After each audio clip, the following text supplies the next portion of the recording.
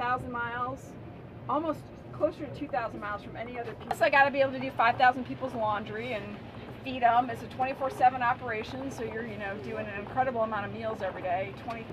We go alongside another ship about 180 feet apart, really close. In order to control our fore and aft movement, these guys are controlling heading by half a degree.